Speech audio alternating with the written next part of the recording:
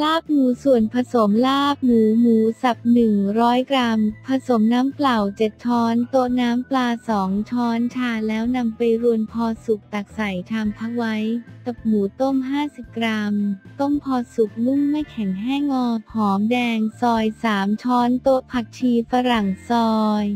3 ช้อนโต๊ะน้ำปลาอย่างดี 2 ช้อนโต๊ะน้ำมะนาว 2 ช้อนโต๊ะน้ำตาลทรายเศษ 1 ส่วน 2 ช้อนชาพริกป่นตามชอบข้าวคั่ว 2 ช้อนโต๊ะใบมะกรูดซอยละเอียด 1 ช้อนโต๊ะแบ่งไว้โรยหน้าตอนเสิร์ฟเล็กน้อย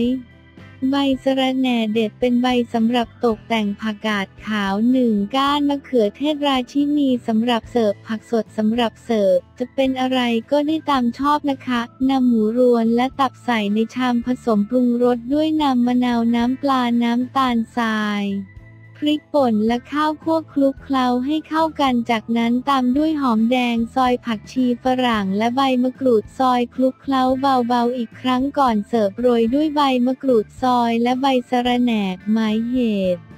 เมนูลาบวันนี้ อ้อใส่ตับหมูและใบมะกรูดซอยลงไปด้วยเพิ่มความมันละมุนลิ้นความหอมของใบมะกรูดจะทำให้ลาบดูมีเสน่ห์เพิ่มอรรถรสมากยิ่งขึ้นค่ะ เพื่อนๆลองทำกันดูนะคะ รับรองจะติดใจค่ะ